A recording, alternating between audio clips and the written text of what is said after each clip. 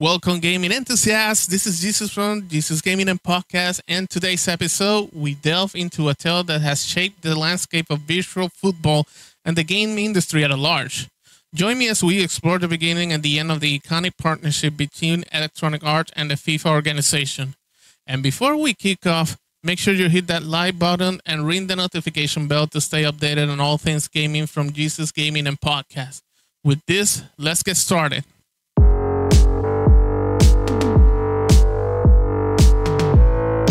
It all began in the late 90s when Electronic Arts, a gaming powerhouse already, and FIFA, the International Football Association, joined forces.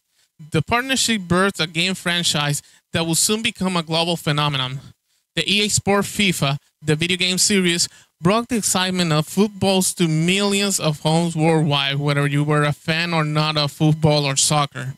From pixelated players to lifelike animations to the journey was exhilarating. Most notably, the debut game was the EA Sport FIFA 94, originally named as FIFA International Soccer, the very same game that was based on the United States terms of being the host country for the real life FIFA season back in 1994. It was released on December 15, 1993, landing on the Sega Genesis, the Commodore Amiga, Nintendo Game Boy, Sega Game Gear, Sega CD, Master System, Super Nintendo, and the 3DO and was described by gaming outlets as a great game to introduce people to soccer or football and also serves to introduce nowadays to gaming fans of the retro gaming as the game possesses technical powers impressive at the time and with the infamous gameplay mechanics of being able to run away from the referee when he's trying to book a player is still as bizarre and enjoyable today as it was when the game first hit the stores back in 1993 with this, we can cover what I would call the golden era of the Electronic Arts EA Sport FIFA relationship. As the years roll on, the partnership flourishes, giving rise to what many consider the golden era of FIFA games. The graphics became more realistic and the gameplay more immersive, and the fan base expanded exponentially. The virtual stadium echoed with the cheers of millions, mirroring the passion found in real world football matches. Electronic Arts and FIFA seemed unbeatable, creating an inseparable bond between gamers and the FIFA franchise. To me, honestly, my fondest memory was with FIFA 98 or FIFA World Cup 98 for the PlayStation. Boy, I was blew out of my mind, and I wasn't a soccer fan or nor a video game for football or soccer fan by then. But to see how the game was developed, and believe it or not, I felt impressed even in the quality on how the menu, the game menu, was structured and designed. World Cup 98 is a football video game that was released in 1998, obviously, as I said, to consider with the year's FIFA World Cup football tournament that was hosted by France, developed by EA Canada, and published by Electronic Arts under the EA Sport label. It is the first official FIFA World Cup game developed by EA Sport after obtaining the rights from FIFA in 1997.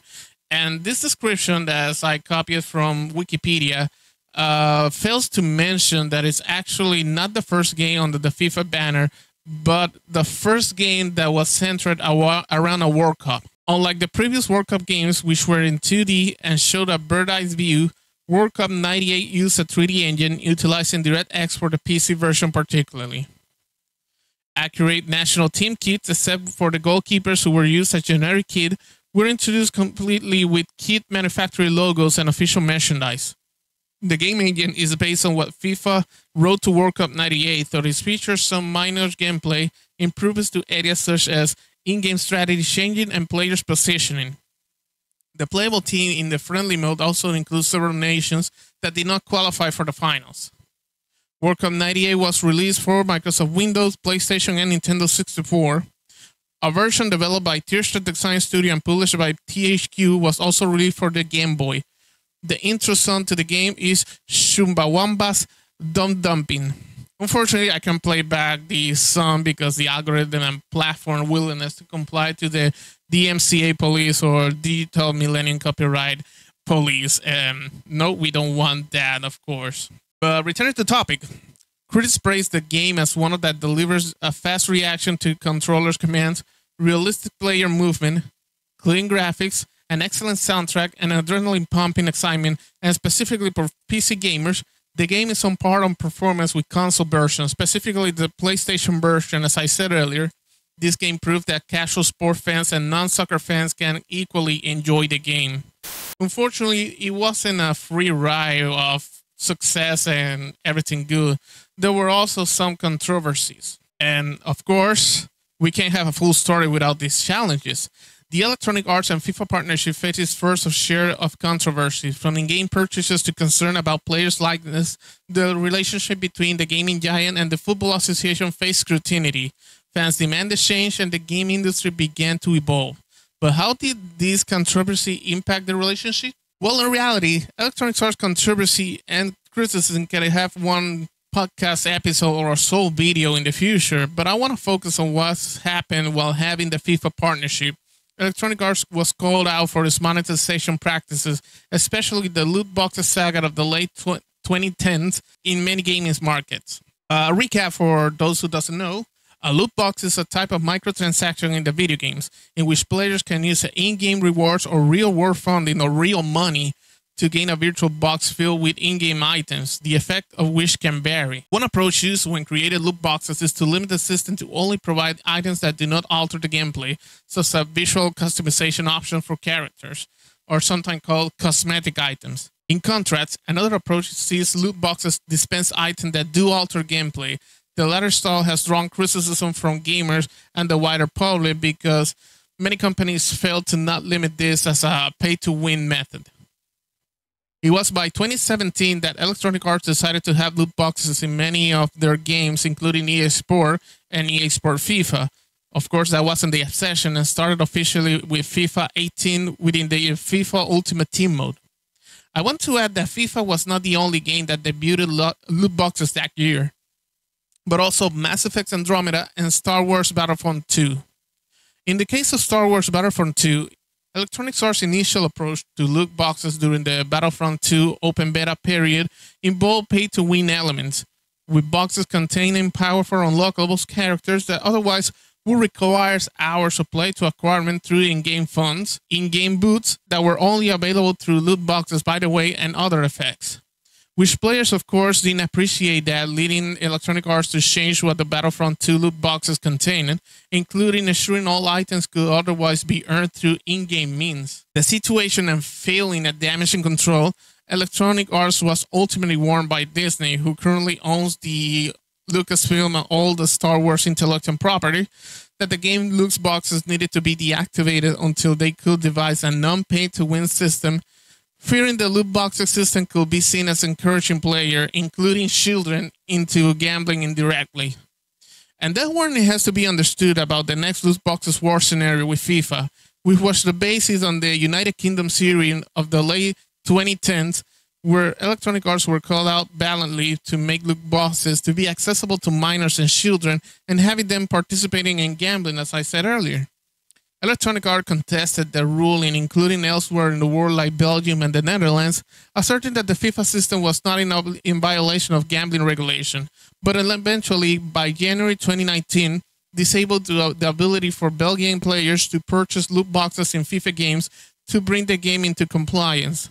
In the United Kingdom, Electronic Arts defended its use of loot boxes, comparing them to surprise mechanic, akin to a collectible toys found in Kinder Surprise Eggs. Do you consider loot boxes to be a, an, an ethical feature of your games? Kerry?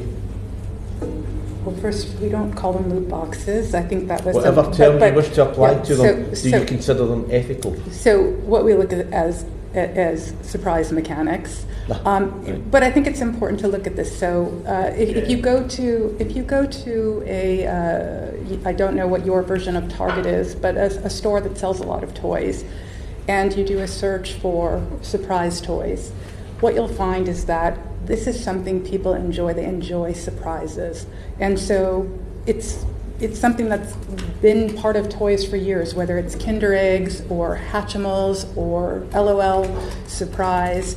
Um, we do think the way that we have implemented these kind of mechanics, and, and, FIFA, of course, is our big one, our FIFA Ultimate Team and our packs, is actually quite ethical and quite fun, enjoyable to people. Um, we agree with the UK Gambling Commission, the Australian Gambling Commission, and many other gambling commissions that they aren't gambling. And we also disagree that there's evidence that shows it leads to gambling. Instead, we think it's like many other products that people enjoy in a very healthy way uh, and like the element of surprise.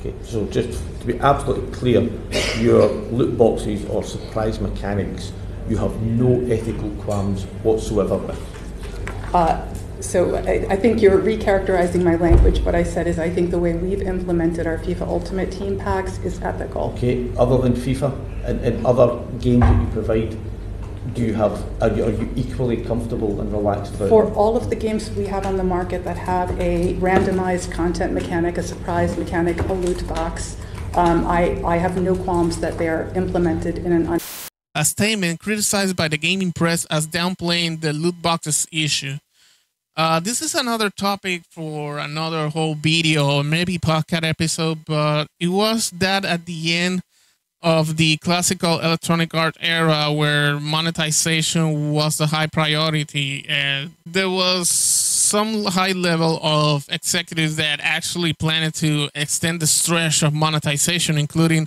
battlefield having gamers to actually buy reloads or bullets magazine for their weapons. So that ridiculous uh, become the thing with loot boxes and the opportunities that electronic arts wanted to have revenue out of gamers. And unfortunately, we got the breakdown. As the year progresses, so did the gaming landscape. New players entered the fields, offering innovative approach to virtual football or soccer. Electronic Arts faced increased competition, and FIFA began reevaluating its gaming partnership. The once unbreakable bond between the two giants started to weaken. Join me as we dissect the events that led to the breakdown of this historic collaboration and the emergence of a new era of virtual football soccer gaming. While the partnership may have come to an end, the legacy of Electronic Arts and FIFA lives on. The impact of their collaboration has, has left an indelible mark in the gaming industry, but in the end, what did happen?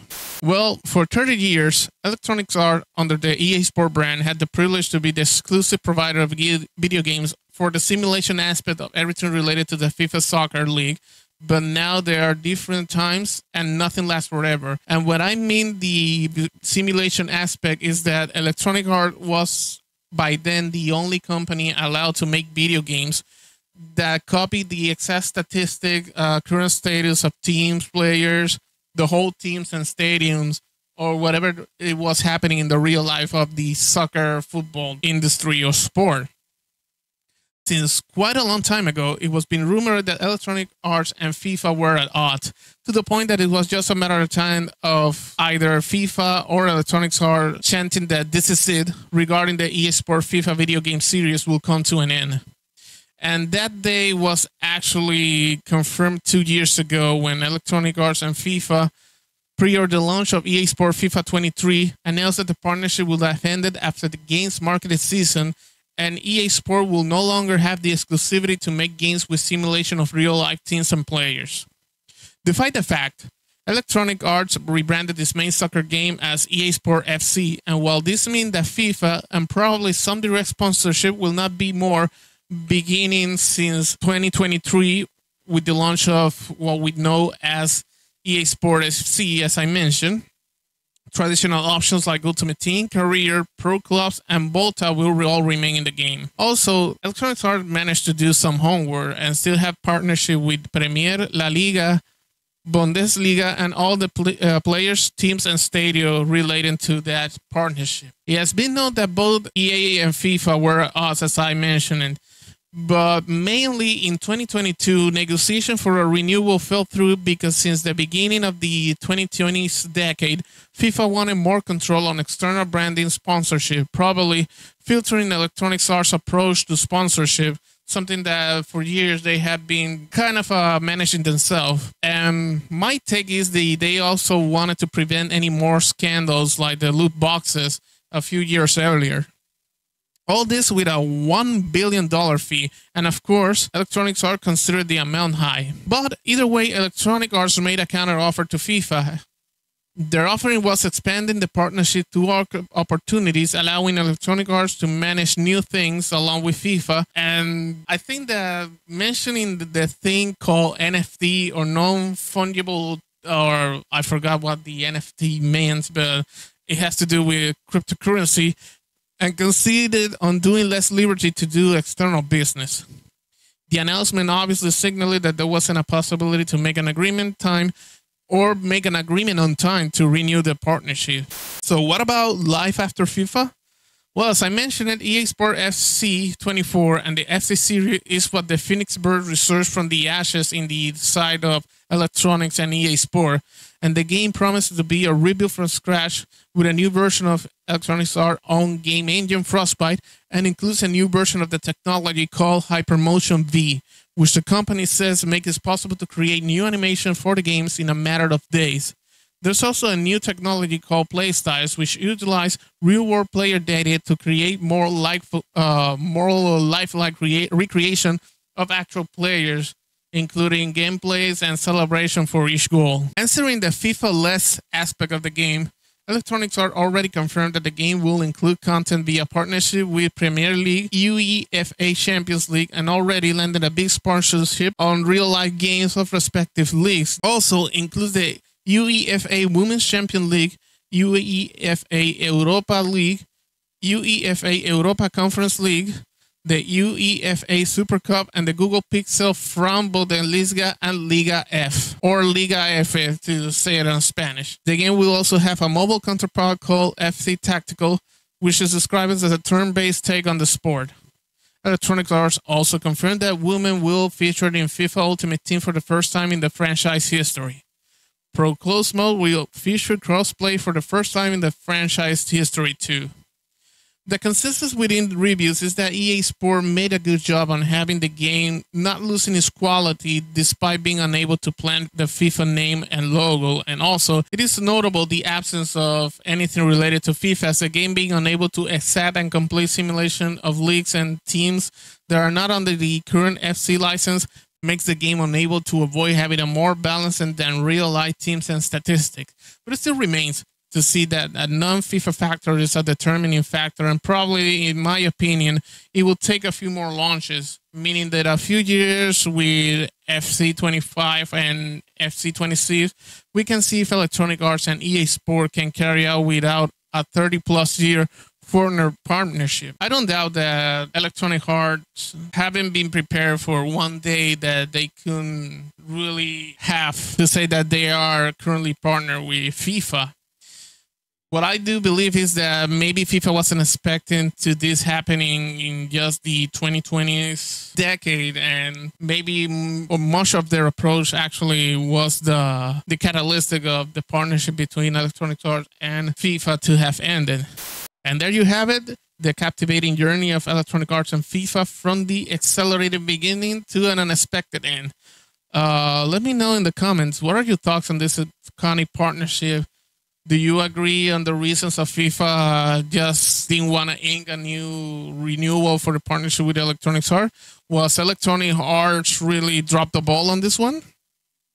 And also, don't forget to like this video if you're enjoying this content via YouTube podcast. And if you're listening to Spotify and the Anchor networks of podcasting, please give a follow on all the main podcasting network. Until next time, this is Jesus from GeeZus Gaming and Podcast signing off and game on. Health and success, everyone.